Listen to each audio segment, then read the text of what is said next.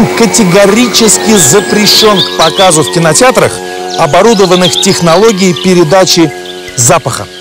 Потому что если вы ощутите ароматы деревьев, в особенности кедров, цветов и трав Алтая, то, скорее всего, вы бросите свой быт, бросите свою работу и переедете жить сюда. Будем откровенны, 145 миллионов переселенцев даже для Республики Алтай многовато. Так что просто приятного просмотра.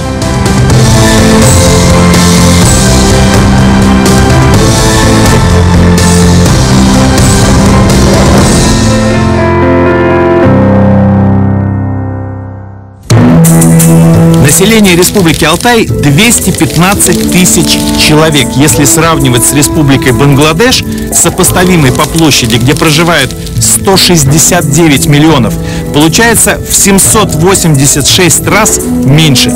Два с половиной человека на квадратный километр.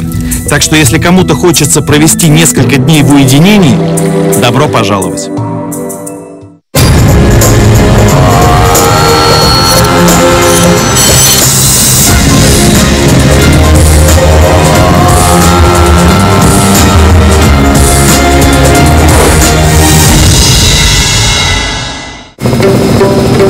Многие места в мире хотели бы называться Алтаем, поэтому свой Алатау есть и в Китае, в Казахстане, и в Монголии, и в Киргизии.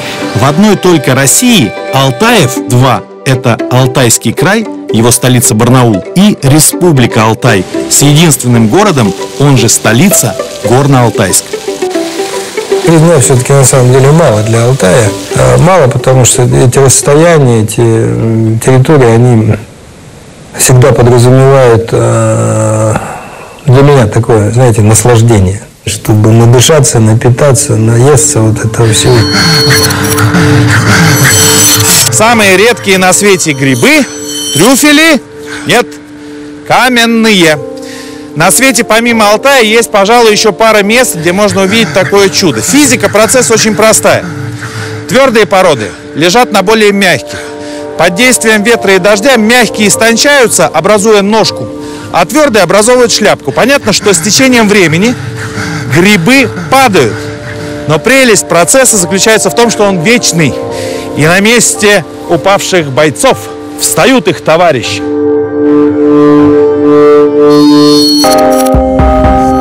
С храмом Иоанна Богослова на острове Патмос связаны легенда и история – Согласно легенде, в 20-х годах прошлого века один художник, который написал множество видов этого храма, сжег его, чтобы больше никто не смог запечатлеть такую красоту.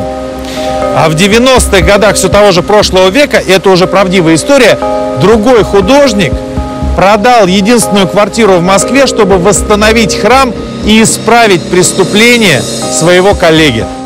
Горнота всегда привлекал путешественников.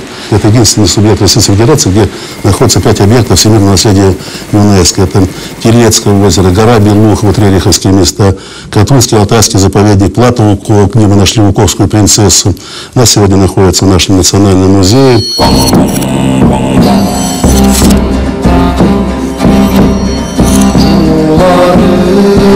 Самый известный экспонат Национального музея имени Анохина Республики Алтай – это, конечно же, мумия укокской принцессы. Хотя правильно говорить жрицы. Об этом свидетельствуют ее татуировки и украшения, найденные на плато Укок в 1993 году. В Кургане ученые обнаружили наполовину разграбленное захоронение, относящееся к эпохе железа. Но в более глубоких слоях была найдена гробница подревнее, датируемая концом IV века до нашей эры. В бревенчатом срубе, заполненном льдом, лежали шесть оседланных коней и выдолбленная из цельного куска дерева колода, заколоченная бронзовыми гвоздями. Колода, скрывавшая тело жрицы, была полностью заполнена льдом. В такой среде женщина отлично сохранилась, как и те вещи, с которыми она была погребена. Если бы в этом погребении не было льда, а там бы остались жалкие вещи, потому что там огромное количество органики. Вот вся сбруя состоит из кожи, э, дерева, э, частично позолоченного дерева, и только удила, они железные.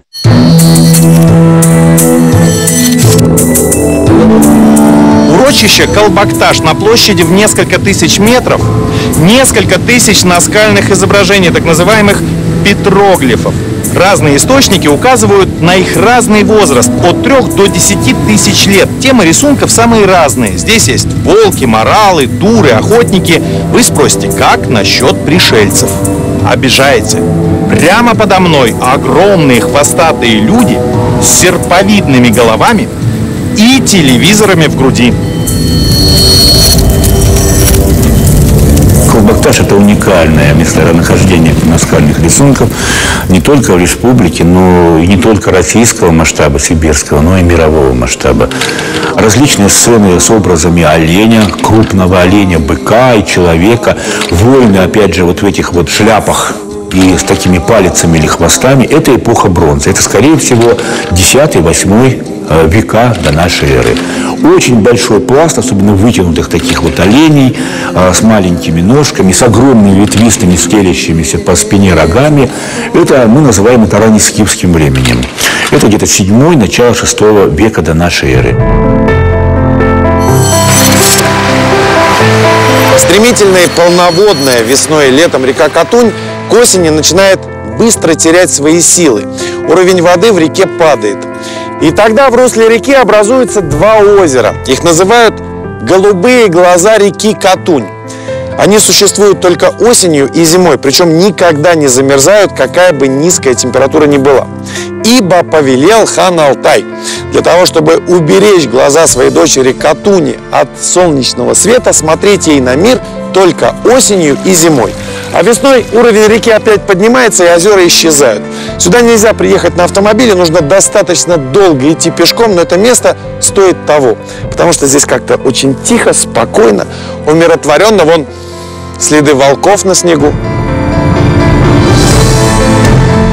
Все мысли о работе, заботы, они как-то исчезают перед величием того, что мы там видим. И все это оседает на человека с новой силой только когда самолет приземляется в Москве. Ну, не зря говорят о том, что там где-то Шамбова, не зря о том говорят, что это духи, не зря о том, что это место, где многие находят покой.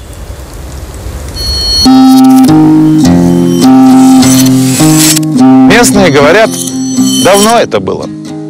Точнее, в 1651 году старообрядец Исаак Бочкарев где-то под Нижним Новгородом услыхал о землях между Белугой и Катунью, где можно сохранить веру, не подвергаясь за нее гонениям. Сколько он шел сюда, неизвестно, но пришел, поселился рядом с алтайцем Уймоном, взял себе в жены девку из рода Атамановых, и так потихонечку здесь стало образовываться старообрядческое село Верхний Уймон. Будете здесь, обязательно спросите Раису Павловну. И она все вам расскажет о том, как жили, и что самое главное, до сих пор живут старообрядцы. А вот это, как вы уже догадались, естественно, алтайская калитка. Алтайские горы стали для старообрядцев, не желавших принимать реформы патриарха Никона, воплощением беловодья, где веровать, работать и жить можно было по собственному усмотрению. Несмотря на непривычный климат, старообрядцы быстро обустроили быт. Они были грамотными, много читали, изъяснялись пословицами и присказками. Гости на гости, хозяевам радости. Хозяин весел, и гости радостны. По привету ходит к обеду, на привет собачку манит. Странного прими, голодного накорми, в печали разговори, человек тебя не объест, не обопьет, тебе Бог больше даст. Раиса Павловна собрала и сохранила в бывшей старообрядческой избе невероятную коллекцию исторических артефактов. Самыми ценными вещами у старообрядцев всегда были книги и иконы. Можно было все потерять при переезде или пожаре, но книги и иконы спасали и вывозили всегда.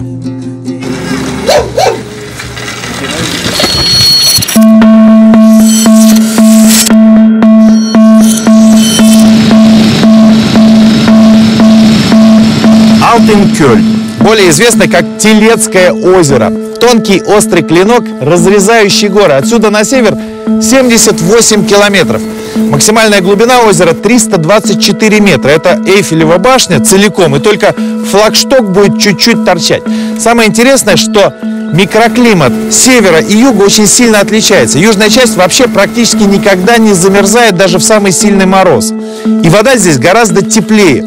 Поэтому, если вы приедете сюда отдыхать, не удивляйтесь. Вас могут спросить, вам какую часть озера? Теплую или холодную?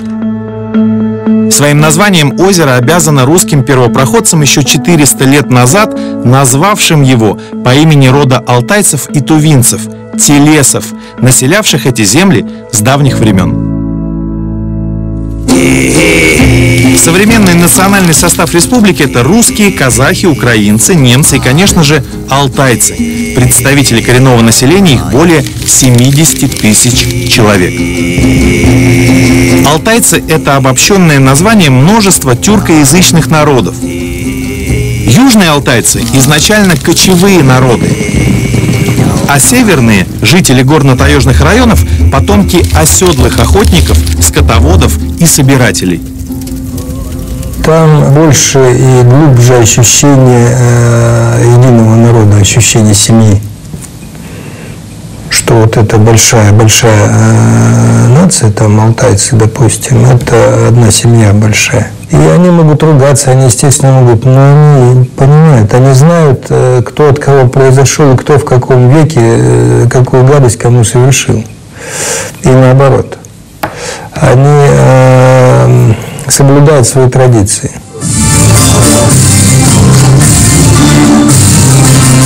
Гостям здесь всегда рады. Название праздника Эль-Уин вообще переводится как «всенародный праздник». Эль-Уин празднуется раз в два года, а в 2016 отмечается особенно широко.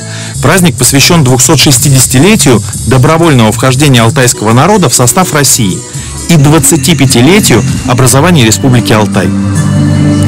Рано утром старейшины на священной горе проводят Мюргюль – обряд освящения праздника. Позже все перемещаются на площадь, где поют на всех языках и диалектах Алтая, танцуют, демонстрируют национальные костюмы и кулинарные изыски и, конечно, наблюдают или участвуют в спортивных состязаниях. Эль-Оин – это Алтайская Олимпиада. 600 спортсменов соревнуются за 59 комплектов медалей, 16 комплектов кубков в 13 видах спорта. Это национальная борьба, алтайские шашки, выбивание плетью деревянных бабок, поднятие камня, жонглирование ногами кусочком свинца, обернутым в козью шкуру, смотр конской упряжи и шорных изделий, стрельба из лука, лазанье на кедр. Наибольшее количество зрителей собирает национальное Родео «Мдик Уредиш». Финальное выступление спортсменов-конников на самых выносливых и быстроногих лошадях-аргемаках служит кульминацией всего праздника.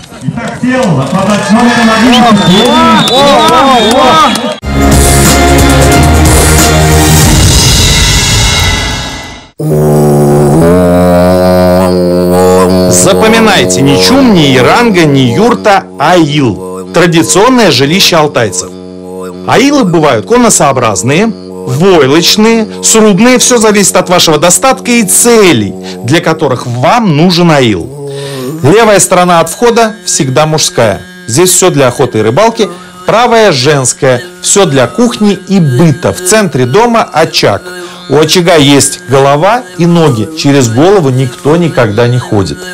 Массовое переселение из аилов в дома по европейскому типу началось в 20-е и 30-е годы прошлого века, когда аил был объявлен пережитком прошлого.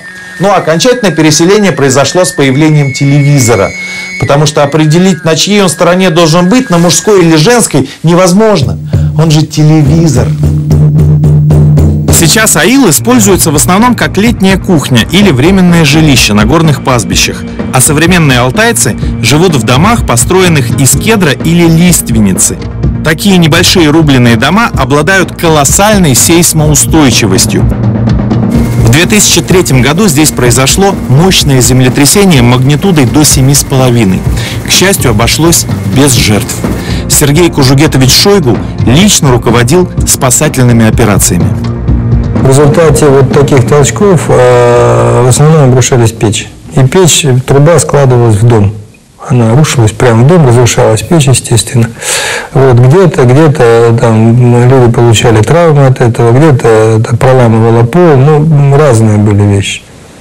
Это вот первое. Второе, это за счет э, некоторых перекосов не открывались двери, трескались, вылетали стекла, ломались рамы. Ну, что пострадало? Пострадало все современное. То, что было построено, это школы, это детские сады современные. Ну, относительно современные. Все, что выше двух этажей, все, что сделано не из дерева.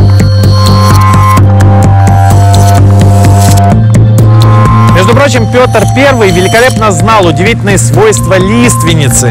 О том, что это гибкое, прочное и никогда не гниющее в воде дерево.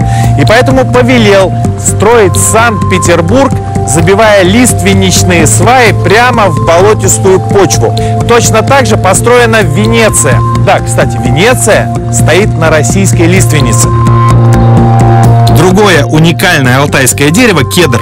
Его корневая система настолько разветвленная, что вырвать это дерево из земли не способен ни один ураган. Дерево отлично справляется с холодом, из его древесины даже построен храм в Антарктиде. У кедра целебно все – кедровая смола, хвоя, орехи и древесина. Кедровыми опилками набивают подушки и матрасы. Говорят, они придают человеку, спящему на них, стойкости и силы. Одна из самых красивых легенд, придуманных человечеством о деревьях, естественно, легенда об алтайском кедре. Один старый-старый-старый престарый алтайский кедр, у которого уже не было сил стоять под напором ветра, никак не мог упасть на землю, потому что каждый день и каждую ночь под сенью его кроны отдыхали люди. Охотники, путники, собиратели шишек. И поэтому этот кедр стоит в тайге до сих пор.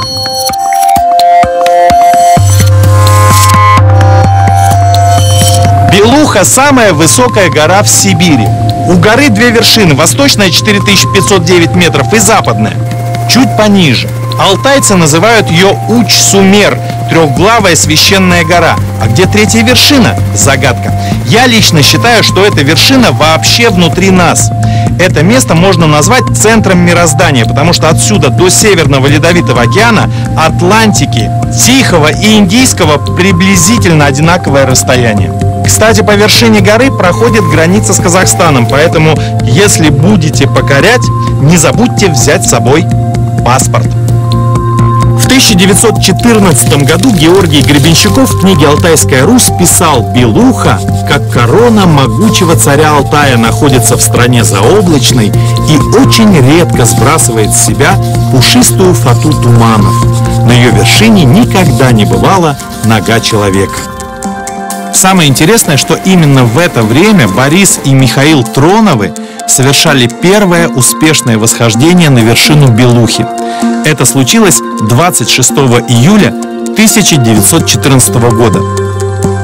Гор – это вообще отдельная история. На это надо явно не три дня, потому что у вас там несколько дней уйдет только на акклиматизацию, потом это надо подниматься спокойно, э, для того, чтобы э, насладиться всей этой красотой. И когда тебе кажется, что вот этот э, след от пролетающего самолета, он находится на уровне твоих глаз, это, конечно, ощущение. Но ощущение очень хорошее. Вы меня заставляете вспоминать то, что мне сегодня вспоминать не очень нужно, не очень правильно, потому что действительно хочется оставить все и поехать.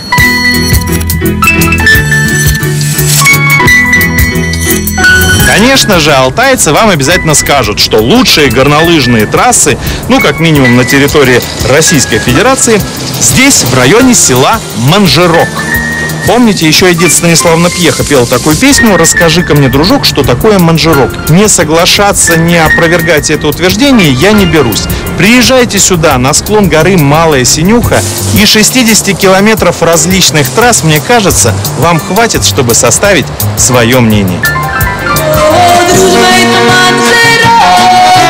вверх туман жиров. И, конечно, нашей встречи манжеров.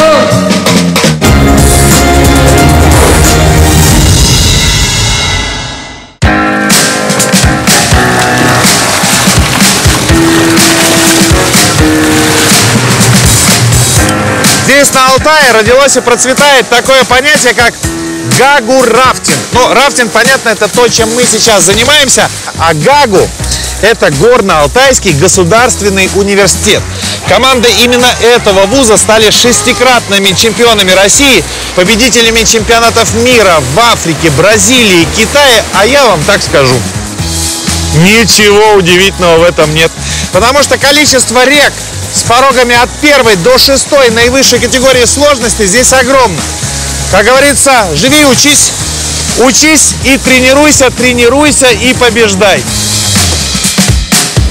Характер и количество рек здесь у нас в Горном Алтае позволяет а, выбрать э, именно такую реку, которая ждет нас на соревнованиях в той или иной стране. Туристический сезон открывается с середины июня и продолжается до начала октября. Уже люди двух категорий, которые приезжают и сидят на одном месте, их это устраивает. Все, что не видят вокруг, то, кстати, ближайшая вылазка может быть на километр два. И вторая категория, у которых шило в одном месте, и они обязательно должны как можно больше увидеть. Любым путем, хоть тушкой, хоть чучелом, вертолетом, машиной, самолетом, квадроциклом, рафтингом, но обязательно как можно больше. Тогда только один совет – иметь опытного человека рядом, который знает край.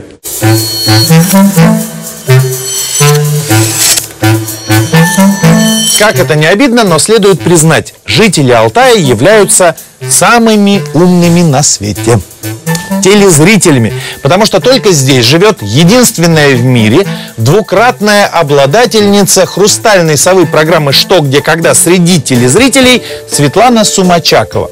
Понятно, что работает она главным библиотекарем Национальной библиотеки Республики Алтай. Ну а поскольку в программе «Что, где, когда» за хорошие вопросы платят ну очень хорошие деньги, то она по совместительству еще и самая богатая женщина в республике.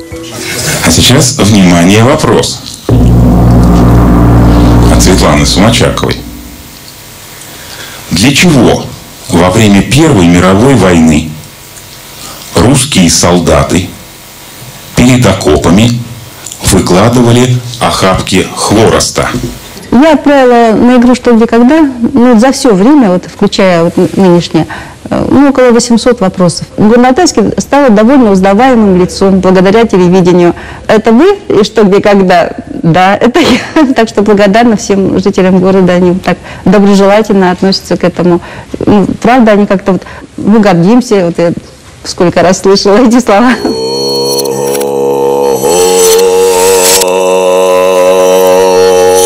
Половину времени, которое Николай Рерих провел на Алтае, он провел здесь, в селении Верхний Уймон. А долину между Верхним Уймоном и Катандой, это где-то 40 километров, он вообще считал будущим центром культуры. Столицей центра, по мнению Николая Константиновича, должен был стать Звенигород, город знаний и возрожденных духовных ценностей. И именно от его стен должен был начаться расцвет Азии. Здесь, в Верхнем Уймоне, художник очень много писал. Часто выезжал верхом и делал зарисовки, даже не слезая с седла. А вот сколько всего картин посвящено Алтаю, неизвестно. Потому что большая часть погибла во время транспортировки уже после экспедиции.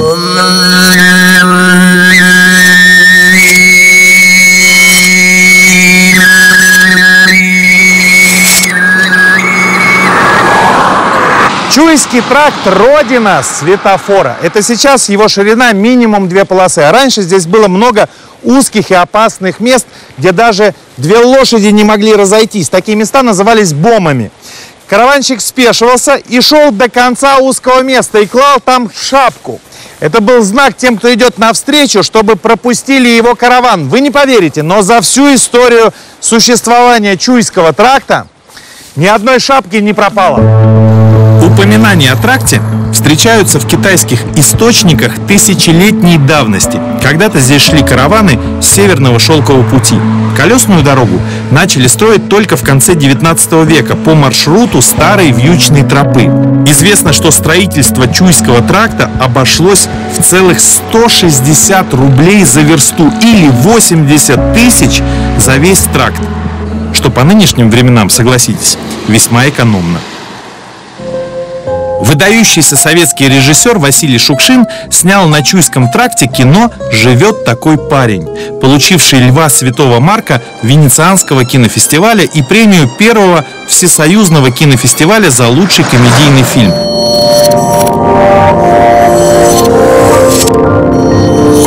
Если вы проехали 856 километров по Чуйскому тракту, то, возможно, на вашем автомобиле сломалась какая-нибудь металлическая деталь. Не расстраивайтесь, просто запомните название. Куехтонар. Здесь еще с тюркских времен прямо на берегу стояли плавильные печи. Одна из них, как видите, почти сохранилась. А сырьем служила железная руда, которая в изобилии разбросана повсюду. И здесь вы до сих пор сможете выплавить а потом выковать, ну, в вашем случае, наверное, металлическую защиту картера и продолжить свой путь.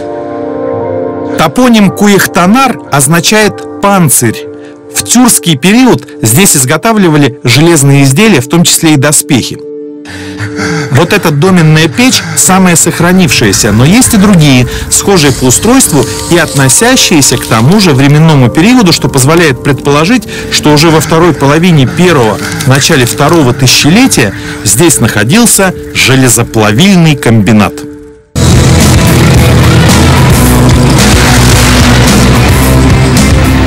Там, где заканчивается Чуйский тракт, начинается территория квадроциклов летом и снегоходов зимой. Нет более практичного транспорта на Алтае, чем эти машины. Обязательно съездите к Телецкому и Каракольским озерам, в пещеру Туткуш или в замок Духов.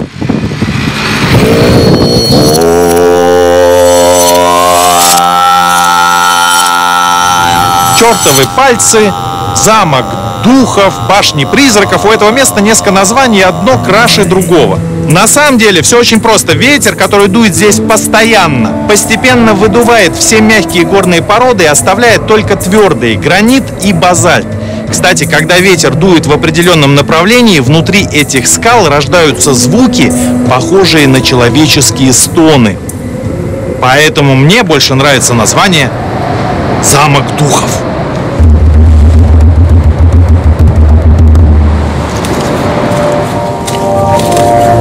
Знаменитую пещеру Туткуш вы, скорее всего, никогда не найдете без опытного проводника, даже если будете вооружены картой.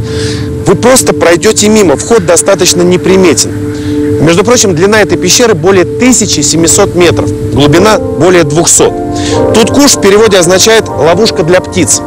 Если птица залетает в пещеру, она уже никогда не найдет дорогу обратно. Это же касается медведей, косуль, зайцев, их кости находили внутри пещеры. А вот летучие мыши используют туткуш как зимовье. А для последователей бурханизма туткуш интересен в первую очередь тем, что здесь живет Эрлик, верховное божество подземного мира, дух ужаса и зла. Надо сказать, что Эрлик при всей своей свирепости очень благосклонно относится к спелеологам, которые проникают в пещеру, ну, при условии, если они, конечно, не мусорят и не обламывают сталактиты. И всем позволяет вернуться назад. Чтобы попасть в пещеру, необходимо спуститься по стене 17-метрового колодца. Внутри вы попадаете в грот сказка или шкуродер. Это сказочно узкий туннель протяженностью в 70 метров. Сталактиты здесь по всему периметру пещеры.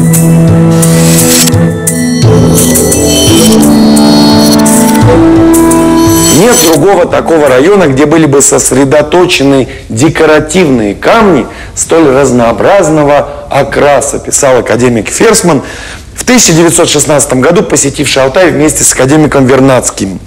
Я ошибался. Алтай на втором месте. Хотя по яшмам точно на первом месте в мире. 300 видов. Да вы знаете, что здесь яшма используется не только в ювелирном деле, а как облицовочный материал. Вообще минералогическое богатство Алтая поражает. Такое ощущение, что здесь есть все. Начиная от черного кварца, Мариона, который должен быть в инструментарии любого уважающего себя шамана, заканчивая, ну, например, минералами, которые делают наши самолеты – невидимыми для радаров врага. Но я это к чему? Хотите сделать счастливым студента-геолога? Отправьте его на практику на Алтай.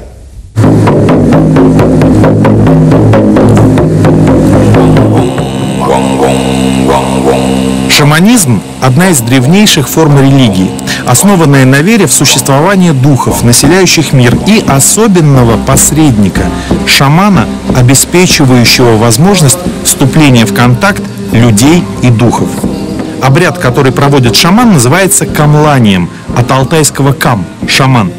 Бубен – главный атрибут алтайских шаманов. Во время камлания он становится шаману ездовым животным, лошадью или оленем, или лодкой, которая перемещает его из мира в мир. И он же помогает шаману не терять связи с миром реальным. Изготавливать бубен могут только мужчины. Женщины изготавливают профессиональное облачение в виде куртки со множеством сложнейших деталей, подвесок, жгутов, всевозможных изображений животных и чудовищ, которые алтайцы называют мандьяк.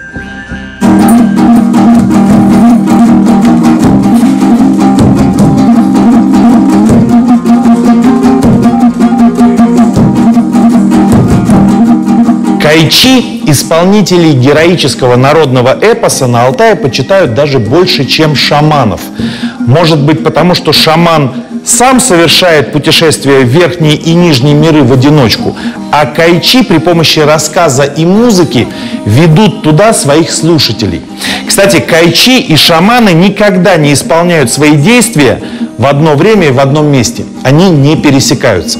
Самым известным ансамблем кайчи, наверное, является Алтай-Кай. Они объехали весь мир. Один раз в Америке они выступали перед аудиторией в 136 тысяч человек. Они занесены в Книгу рекордов Гиннесса за самое длительное горловое пение. 4 часа 26 минут. И сейчас этот рекорд мы с вами попробуем побить. Уникальная особенность Кая заключается в том, что исполнитель задействует сразу два разнотембровых и разновысотных голоса, то есть пение одновременно издается горлом и исполняется губами.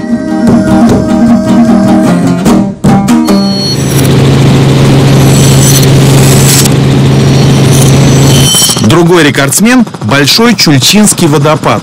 Он попал в пятерку самых труднодоступных достопримечательностей России. Казалось бы, антиреклама, но настоящих любителей туризма как раз такие места и привлекают. Чтобы добраться до водопада, нужно ехать на автомобиле, пересечь озеро на катере, ехать на лошадях, переправиться через реку и несколько часов идти пешком.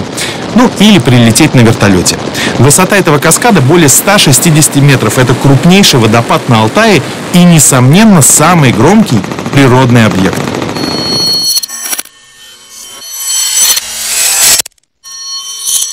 Если волею судеб вы оказались в Горно-Алтайске всего лишь на пару часов, не расстраивайтесь.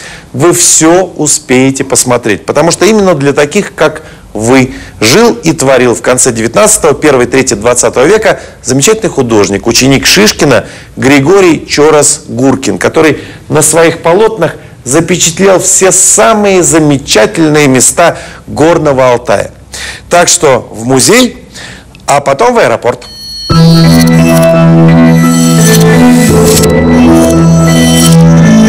Каракольские озера – это целая система из семи горных озер, каждая из которых находится чуть выше предыдущего. Нижняя на высоте 1800 метров, верхняя – почти 2100.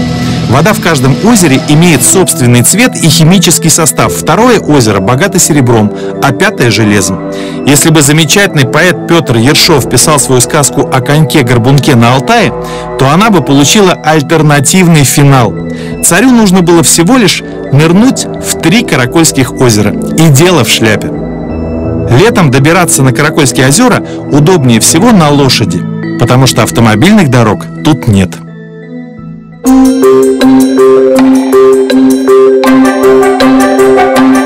каждого уважающего себя алтайца должно быть три лошади. На одной он ездит сам, например, на охоту, вторая вьючная, а третья лошадь красивая. Она нужна для эффектного выезда в люди, в гости или на какой-либо праздник. Да, еще, это обычно не афишируют, но каждая лошадь должна знать, что в случае чего она будет едой.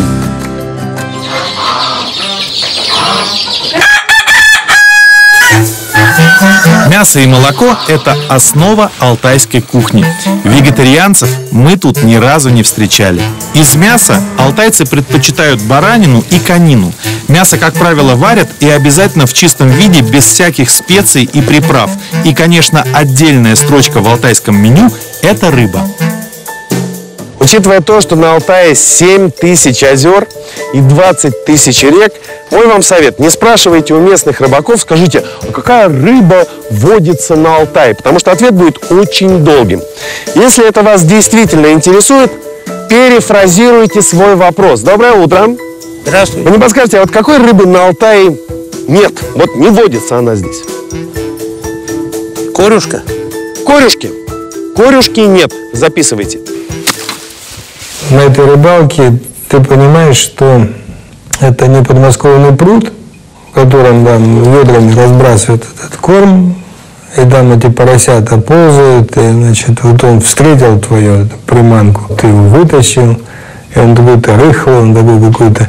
А это совсем другая. Это бурные реки, это э, хариус, это ленок, это таймень, это, это рыба, которая э, само название говорит о ее силе, о ее чистоте, но я же не говорю про вкус.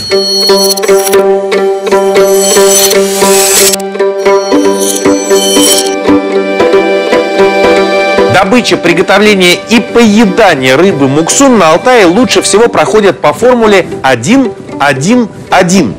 Один час на рыбалку, но это вместе с дорогой туда-обратно. Один час на засол этой замечательной рыбы. И есть муксуна, мне кажется, лучше всего одному. Во всяком случае, у меня не появилось никакого желания с кем-нибудь поделиться.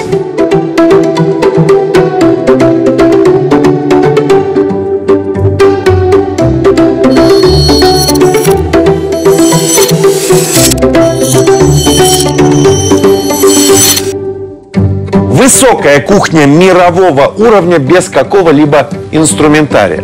Да надо сказать, вообще без ничего. Это алтайский принцип. Например, сейчас Роман готовит утку в тесте. В то же самое время где-то в тайге охотник добыл дичь, щедро обмазал ее глиной и просто бросил в костер. В результате и у Романа, и у охотника получится приблизительно одно и то же.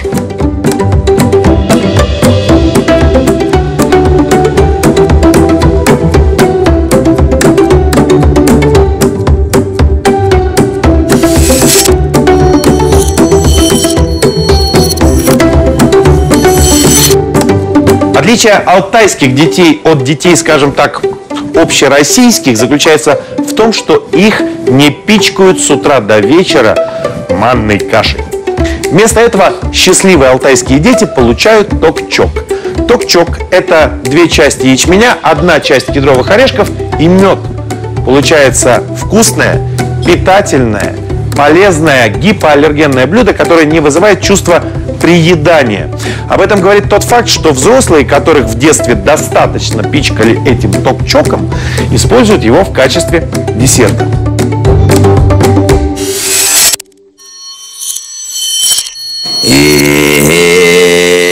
Усть-Канская пещера. Стоянка человека эпохи раннего палеолита. Замечательно тем, что именно здесь найдены первые следы фастфуда. Ученые обнаружили здесь следы винторогой антилопы, но она бегала быстро и заканчивалась еще быстрее. Но она вымерла быстрее шерстистого носорога и мамонта. Не смешно, да? Естественно, потому что это шутка эпохи раннего палеолита. А все остальное, найденное в этой пещере, находится в Эрмитаже.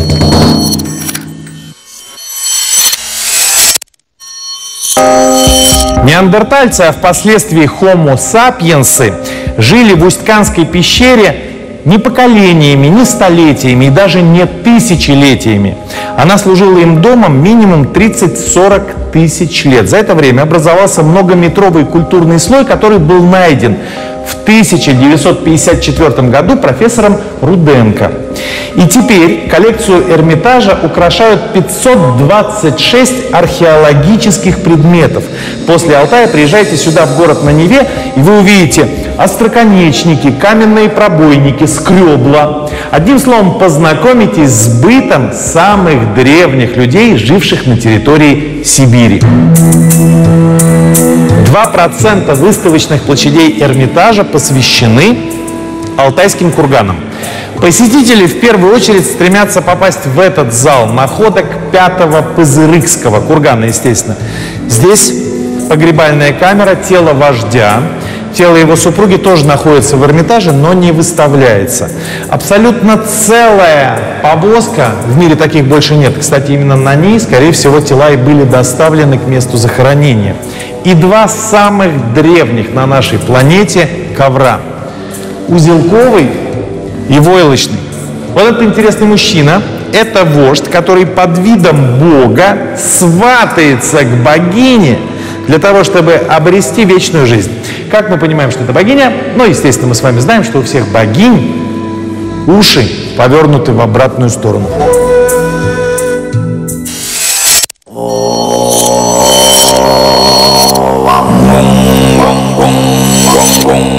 Тархатинский мегалитический комплекс бронзового века. Местные экскурсоводы, естественно, называют его Алтайский Стоунхендж. Интересно, что породы, из которых состоят эти многотонные глыбы, в соседних горах не встречаются. Так вот, ученые современные присмотрелись и заметили, что все камни сориентированы по сторонам света с точностью до 1 градуса. Отсюда вывод – это обсерватория. Часть камней разрушилась с течением времени, но, как видите, их с успехом заменяют многочисленные туристы, которые водятся здесь в изобилии. Так что можно сказать, что обсерватория функционирует до сих пор. Среди каменных глыб мегалитов выделяется одна. Своей формой она напоминает традиционную алтайскую колыбель. Местные называют ее колыбель Сартакпая. Этот богатырь здесь в особом почете, и этому камню приписывают чудесные свойства. На каменном ложе вы увидите монеты, бусы, ювелирные украшения, а ветви у растущего рядом кустарника обвязаны белыми ленточками. Все это подношение женщин, желающих стать матерями.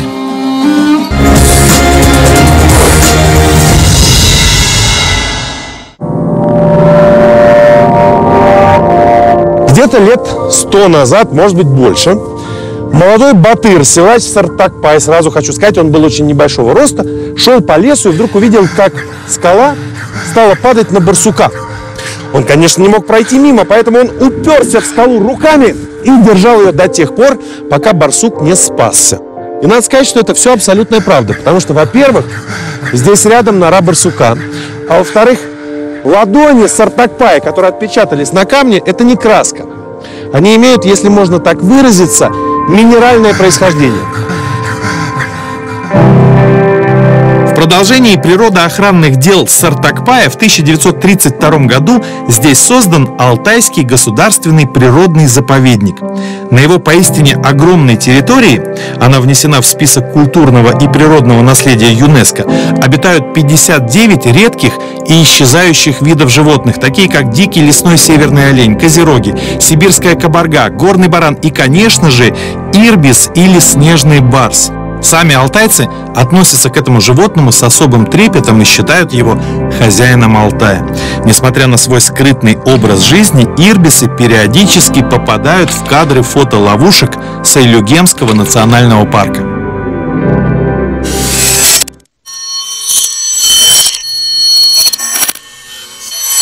В России не так мало мест, где сохраняют и увеличивают популяцию зубров, которые до сих пор занесены в Красную книгу. Но вот за Уралом зубры есть только в Республике Алтай. Если будете здесь, обязательно устройте себе встречу с этими, казалось бы, на вид добродушными гигантами. И тогда после, когда вы приедете в Беловежскую пущу, вы можете с видом знатока сказать «Наши зубры лучше».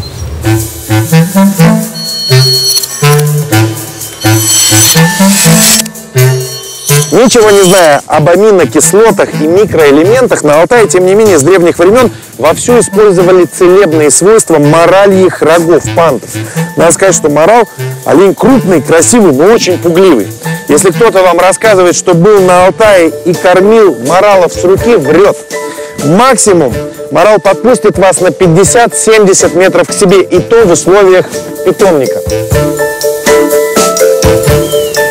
Горный Алтай – самая благоприятная для разведения пантовых оленей зона на Земле.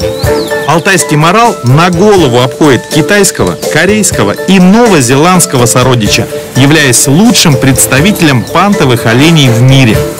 Зимой панты моралов, молодые, мягкие, все пронизаны кровеносными сосудами и покрыты нежной бархатистой кожей. В апреле-мае скорость роста пантов становится максимальной до 2 см в сутки.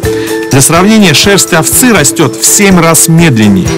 За пару месяцев взрослый морал наращивает до полутора метров пантов. Морал – животное ночное, поэтому забор пантов начинают очень рано, где-то часов в 5 утра. Позже звери просто не пойдут.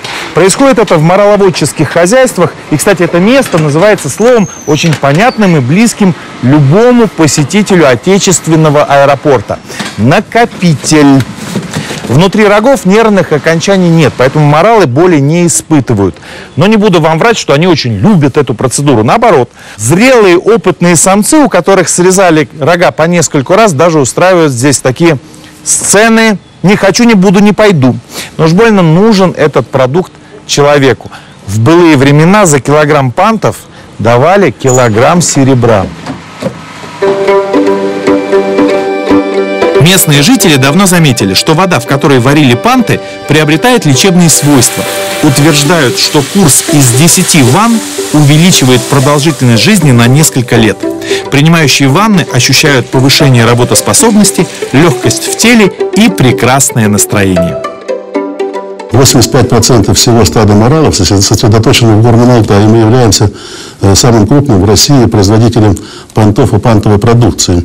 И у нас здесь работают такие э, крупные наши друзья, инвесторы, как э, ФК-система Владимир Петрович Евтушенко, которые взял э, находящийся в руинах погибающий Мроловский совхоз, но сегодня сделал там базу виповского уровня с, с такими технологиями, которые не имеют аналогов в Российской Федерации. Это тоже востребовано круглый год, и туда едут люди, чтобы ну, подпитаться здоровьем, подышать кедровым воздухом и всеми другими вещами. Вот на, э, сегодня понтолечение это тоже как говорят молодые люди, фишка, которая привлекает сюда люди.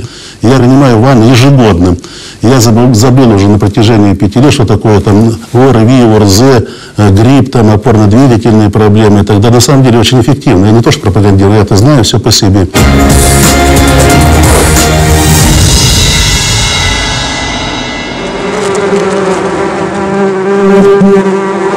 Перед вами далеко не самый компактный, но, смею вас уверить, самый эффективный ингалятор на свете. Он называется Алтайская пасека.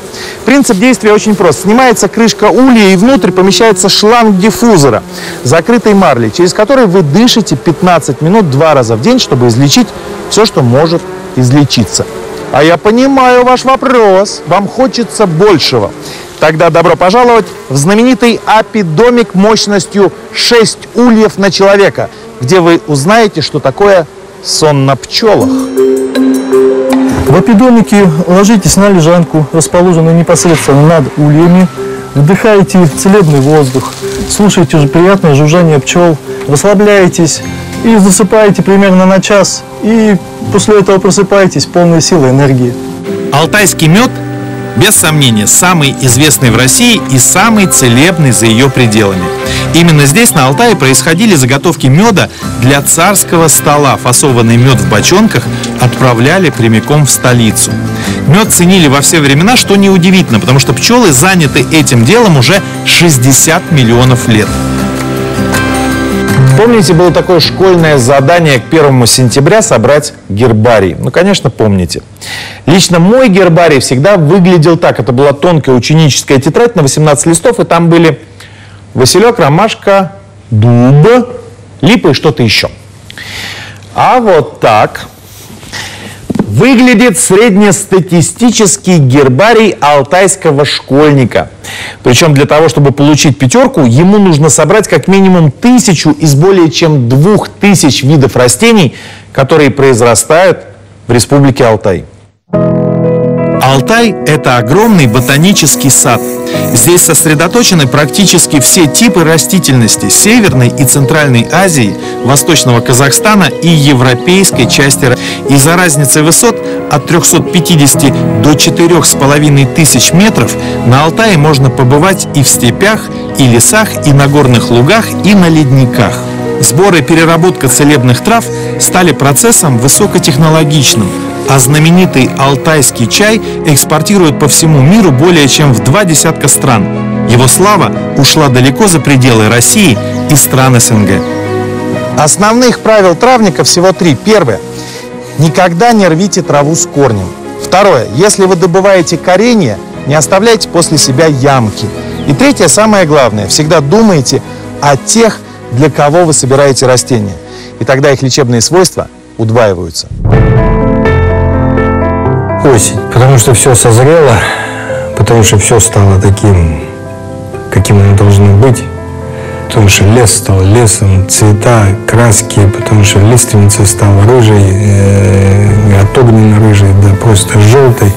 И это, это безбрежные золотые горы и берега. У меня э, был там, в молодости случай, когда я э, с, ну, по нынешнему дискотеке, а тогда у нас танцы назывались, значит, в, вот в летней рубашке примерно так, значит, пошел девушку провожать вечером, а утром возвращался по снегу. То есть вот там все это ломается мгновенно, и, и конечно, тут в этом тоже своя прелесть. Мы много с вами можем поговорить об этих местах э, диковинных, но там жить надо. Можно прожить целую жизнь, изучая каждый уголок Республики Алтай. А можно за целую жизнь так ни разу сюда и не добраться. А как поступить? Нам кажется, что истина лежит где-то посередине, так что, думаю, не ошибусь, если просто скажу вам «до встречи в Республике Алтай».